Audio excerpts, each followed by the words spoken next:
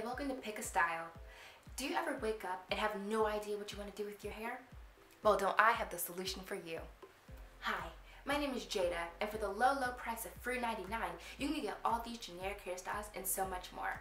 All you have to do is subscribe, or just keep watching. The first hairstyle is two puffs. This look is a classic and can be altered in many different ways. You can do two high puffs, low puffs, or braided puffs. The choice is yours.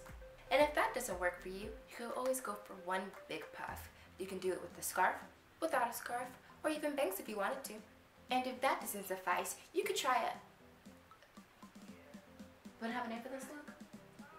How do you expect me to sell something and you don't even you can uh, try this style with the twists and it goes into a low puff. It's very, um, very elegant.